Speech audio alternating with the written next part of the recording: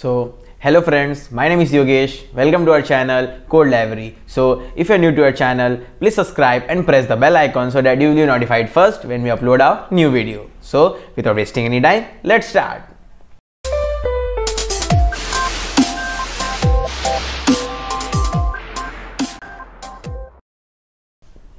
So today we are going to solve another question of the string. Is uh, the question is that uh, we have to uh, write a program to check whether a string is a valid shuffle of two string or not ये हमारा question है write a program to check whether a string is a valid shuffle of two string or not so let me explain you the solution first let me explain the what the question says it means uh, first the question says that we have to check the this resultant string we have been given two string s1 and another string s2 and we have to check whether this resultant string is a valid shuffle of s1 and s2 so what does it mean? It means that the resultant string will contain all the values of S1 and all the values of S2. So what we can guess from here, it means that the length of the resultant string will be the summation of length of S1 and length of S2. So this is our first assumption. Second one is that all the values should be in their same order means the order of s uh, the string s1 should be same in the resultant string and order of s2 string also will be same order in resultant string. What does it means that just say for example in s1 we can see that string is in order x y. Okay so we can resultant we can see that first x is appeared then y is appeared.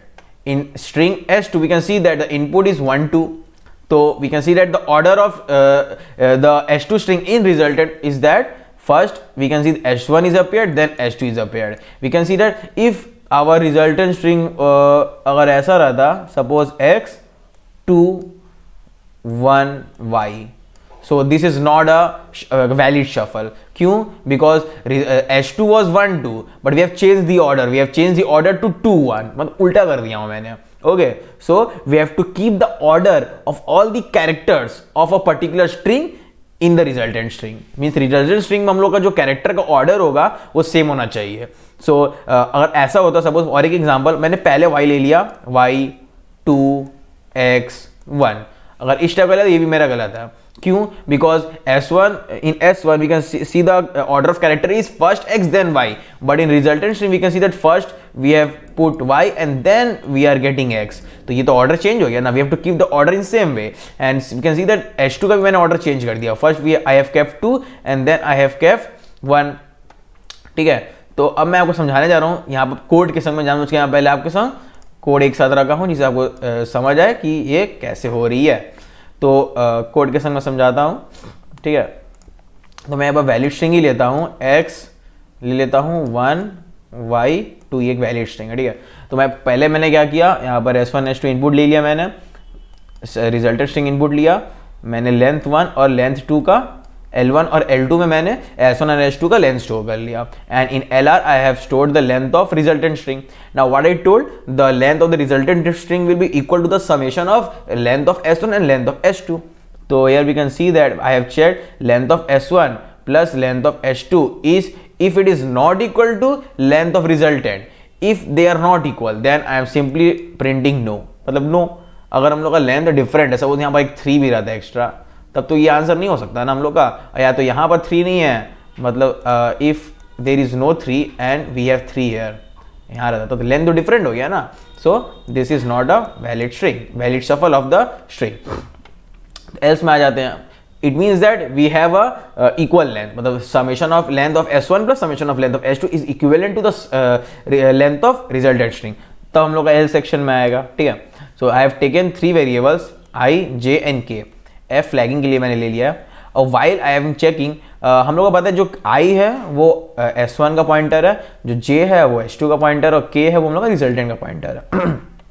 So I am checking while K is less than L R L R क्या था? हम लोग resultant का length था। तो जब तक के लास्ट तक रिजल्टेंट का नहीं पहुँच जाता, वो लास्ट तक पहुँच जाएगा मतलब हम लोग का हो गया, ठीक है? अब मैं यहाँ पर इफ़ चेक कर रहा हूँ इफ़ यहाँ पर। अगर i is less than L1 तो i को भी तो S1 के लेंथ तक ही रहना पड़ेगा ना, उससे बाहर नहीं जा सकता। So if i is less than L1 and S1 of i is equal to res of k मतलब इसका particular character is equivalent to resultant का पर्टिकुलर कैरेक्टर बराबर होता है। तो ये आई को तो भाई इंक्रीमेंट करना पड़ेगा मतलब वो सही हो रहा है हम लोग का। मतलब बराबर हो गया ना। एलसीफ में मैंने चेक किया, अगर वो सही नहीं हो रहा है तो एस का कोई एलिमेंट सेम होगा। जे को पहले चेक करना होगा कि मतलब कॉर्नर किस चेक करना होगा ना कि एल टू का लेंथ मतलब अपने लेंथ से छोटा है कि नहीं? छोटा है। और S two of J is equal to res of K मतलब दोनों एलिमेंट बराबर हो रहे हैं। जैसे जैसे अपना यहाँ पर ये के भी शिफ्ट होगा जब ये वन और देखो ये वन बराबर है ना अभी तो, तो मैंने जे शिफ्ट किया। ठीक है? एल्स में कब आऊँगा? जब when this element is also not uh, equivalent to resultant of particular ith character and ये एस एस टू का भी अगर particular character is not equal to I character of result तो अगर ये नहीं हो रहा है तो मतलब क्या हुआ कि दोनों एलिमेंट ही रिज़ल्ट में प्रेजेंट नहीं है। वो मैं आपको एग्जांपल देता हूँ। फॉर एग्जांपल यहाँ एक्स वाई है यहाँ वन टू है ना रिज़ल्ट अब सपोज़ हम लोग का ऐसा है। फ़र्स्ट ऑफ़ ऑल हम लोग का क्या होता है मैं वन रख देता हूँ ठीक है? फिर मैं एक्स रखता हूँ। एक्स नहीं सॉरी ऐसा लेना तो, ये तो उसी में हो जा रहा है। मैं पहले करके मैंने मैंने जेड ले लिया सपोज़ जेड फिर वन फिर टू, फिर वाई ऐसा मैंने ले लिया। तो क्या एक्स जेड बराबर है? नहीं। Is one equivalent to Z no so we can see that both of the elements are not equivalent to z. It means that z is not present in s1 and s2 or it is not a valid shuffle. तो directly हम लोग का no ही हो गया ना answer that's in the else section I am directly breaking the loop मतलब लोग गलत है। डायरेक्ट मैंने ब्रेक कर दिया। और नीचे में के तो वहाँ प्लस करना ही था ना। If it is going to if तब भी के प्लस होगा एलसी में जाएगा, तब भी के प्लस होगा, क्योंकि के तो रेस वाला पॉइंटर है। अब बढ़ते गया। अब बस मैंने यहाँ पर चेक कर लिया। यहाँ पर दो तरीके से चेक कर सकते हैं। एक तो तुम्हारा कि के लास्ट तक पहुँचा है कि नहीं। और directly I am going to check whether I जब अगर आई लास्ट तक, देखो, अगर हम लोग का एस वन और एस टू पूरा प्रेजेंट होता है रिज़ल्ट में तो ऑब्वियस बात है कि जो आई है, वो पूरा एस वन का लास्ट पॉइंटर लास्ट को पॉइंट करता एस टू पूरा लास्ट के बाहर चल जाता, ठीक है? तो अगर चेक करो आई अभी भी छोटा है एल वन मतलब पहले कहीं रुक गया आके उसका pointer if J is less than L two मतलब जे भी एस टू लेंथ में एस टू स्ट्रिंग में जे भी कहीं पहले आके रुक गया है। तो मतलब कोई ना कोई और दिया हूँ मैंने मतलब दोनों में से कोई भी एक कंडीशन ट्रू अगर हो गया मतलब पहले कोई रुक जा रहा है मतलब वो पूरा कंप्लीट नहीं हुआ है। इट मीन्स दैट आवर पूरा शफल नहीं यहाँ हो पाया है। मतलब कुछ ना कुछ एलिमेंट बच चुका है, यहाँ पर नहीं कंप्लीट हो पाया। मतलब यहाँ कुछ दूसरा एलिमेंट होगा रिज़ल्ट में।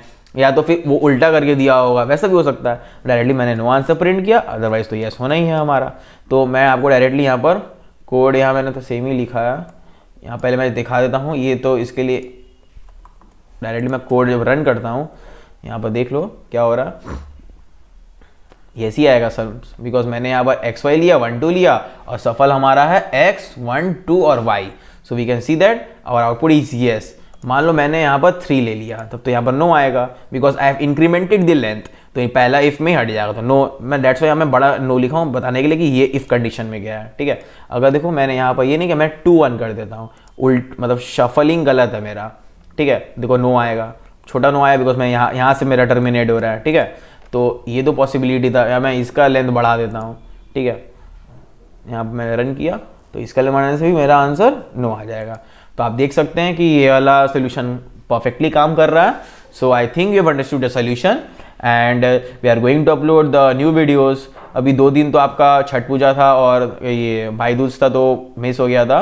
But now we are going to upload regularly two videos per day so हम लोग का चैनल को जितना से जितना आप लोग शेयर कर सकते हैं और शेयर करिए.